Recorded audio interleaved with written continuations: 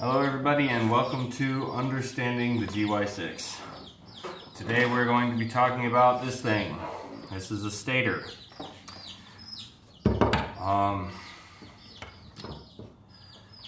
this is what generates electricity on your GY6 engine. Um, rule of thumb is 10 watts of power per pole. Um, now, uh, basically your working current is half um, what your stator produces. Uh, your headlight and your tail light um, basically are what you're uh, getting AC power from your stator and your blinkers and brake light are run directly off your battery so those operate whether or not your GY6 engine is running. Um, your stator gives you two types of power. It gives you AC, well, if you're running an AC stator, gives you two types of power. Your AC um, which runs your headlights, your tail light, and your ignition coil. Um, and your DC power charges your battery. Um,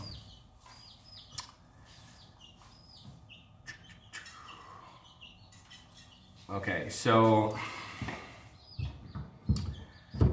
we'll discuss your wires coming from your stator. Your blue wire runs from your pickup. That's this part of the stator. Uh, this determines when your uh, spark plug ignites or your ignition fires or however you want to describe that part. Um, this runs to your CDI and then from your CDI runs to your coil.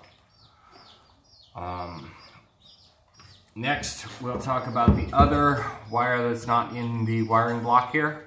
Uh, the black and red wire, uh, it's usually a black and red, wire.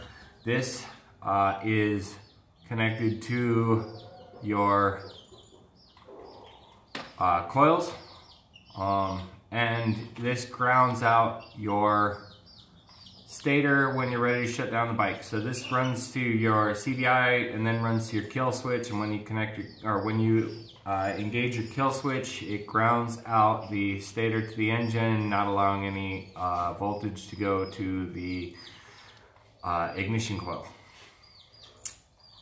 Now, as for your little wiring block here, um, generally you have three, uh, a three block uh, terminal, at least on a 50cc, which is what I'm working on.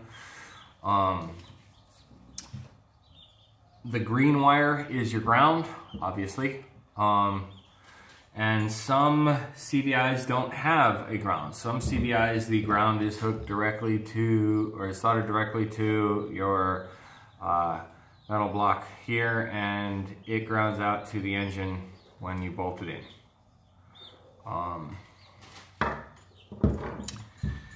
your white wire, uh, that runs to your uh, headlight and tail light and well it runs through your voltage regulator and then to your headlight and tail light. Now this is AC power. It's uh, still um, only usually uh, like between 13.4 volts and 14.7 volts depending on how high you're running your engine.